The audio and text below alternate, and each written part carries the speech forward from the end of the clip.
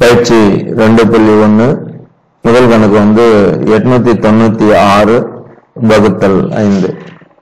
முதல்ல நம்ம அந்த எட்நூத்தி தொண்ணூத்தி ஆறை இங்க எழுதிக்கணும். எழுதிட்டப்புறம் இந்த அஞ்சை இங்க போட்டுக்கிறோம். வழக்கமா போடுற மாதிரி. அதுக்கப்புறம் பாத்தீங்கன்னா எட்டுல எத்தனை அஞ்சு இருக்குன்னா ஒரு அஞ்சு தான் இருக்கு. அதனால ஒன்னு இங்க போட்டுக்கிட்டு ஓர் அஞ்சு அஞ்சு கீழே அஞ்சை கீழே போடுறோம்.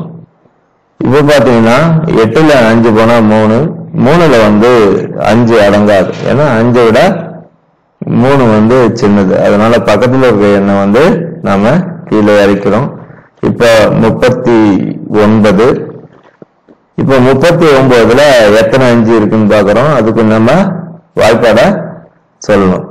ஓரஞ்சு அஞ்சு ரெண்டஞ்சு பத்து மூவஞ்சு பாஞ்சு நாலஞ்சு இருபது ஐயஞ்சு இருபத்தஞ்சு ஆறஞ்சு முப்பது ஏழஞ்சு முப்பத்தஞ்சு. இப்போ ஏழு அஞ்சு முப்பத்தஞ்சு. அதனால என்ன பண்றோம்? மேல ஏழு போட்டுக்கிறோம் கீழே முப்பத்தஞ்சு போட்டுக்கிறோம். இப்போ ஒன்பதுல அஞ்சு போச்சுன்னா நாலு. இப்போ நாலுல அஞ்சு அடங்காது. அதனால என்ன பண்றோம்னா மேல இருக்கிற இன்னொரு நம்பரை நம்ம கீழே எழுதிக்கிறோம். இப்ப நாற்பத்தாறு நாற்பத்தாறுல எத்தனை அஞ்சு இருக்குன்னு பார்க்கலாம் அதுக்கு நம்ம வாய்ப்பாடு சொல்லி பார்க்கலாம். ஓரஞ்சு அஞ்சு ரெண்டஞ்சு பத்து மூவஞ்சு பாஞ்சு நாலஞ்சு இருபது ஐயஞ்சு இருபத்தஞ்சு ஆறஞ்சு முப்பது ஏழஞ்சு முப்பத்தஞ்சு எட்டஞ்சு நாற்பது ஒன்பதஞ்சு நாற்பத்தஞ்சு. இப்போ ஒன்பது அஞ்சு நாற்பத்தஞ்சு. அப்ப ஒன்பது போட்டுக்கிறோம் நாற்பத்தஞ்சு போட்டுக்கிறோம். இப்போ ஆறுல அஞ்சு போச்சுன்னா ஒண்ணு. இப்போ இதான் ஈவுன்றோம் e இதை மீதின்றோம் அப்போ ஈவு e, எவ்வளோன்னு எழுதிக்கிறோம். ஈவு வந்து நூத்தி எழுபத்தி ஒன்பது மீதி வந்து ஒன்று என்ன குழந்தைகளே? இதே மாதிரிதான் நம்ம மீதம் இருக்கிற கணக்குகளையும் போடணும். இரண்டாவது கணக்கு வந்து பாத்தீங்கன்னா அறுநூத்தி தொண்ணூத்தி ஆறு வகுத்தல் ஆறு. முதல்ல வழக்கம் போல அறுநூத்தி தொண்ணூத்தி ஆறு எழுதிக்கிறோம்.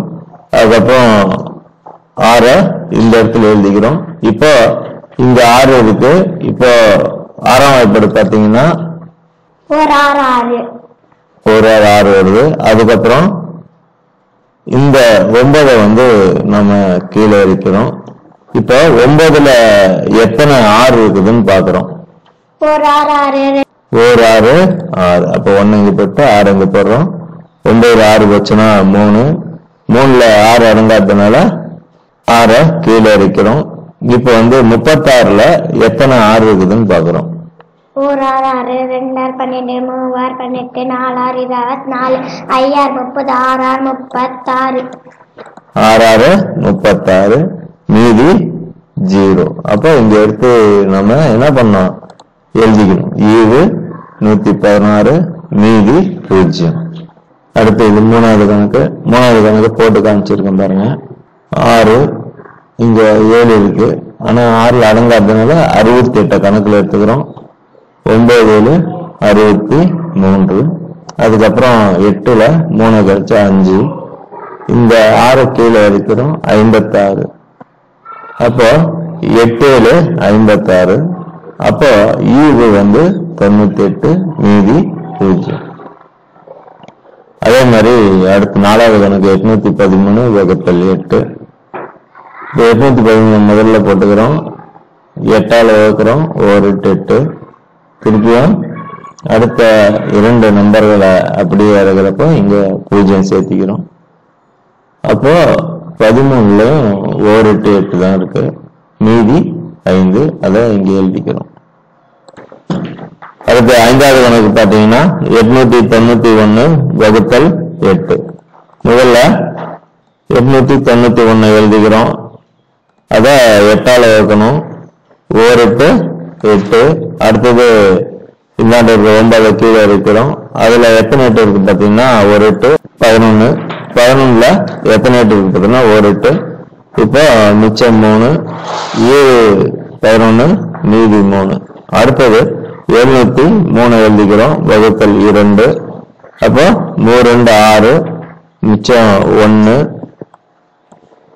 பூஜ்ஜியத்தை கீழே இருக்கிறோம். பத்து. அது ரெண்டு. பத்து. எழுதிக்கிறோம் மிச்சம் மூணு. மூணுல பாத்தீங்கன்னா எத்தனை ரெண்டு இருக்குன்னா ஓ ரெண்டு ரெண்டு. அப்போ மூணுல ரெண்டு போச்சுன்னா ஒன்று மீதி.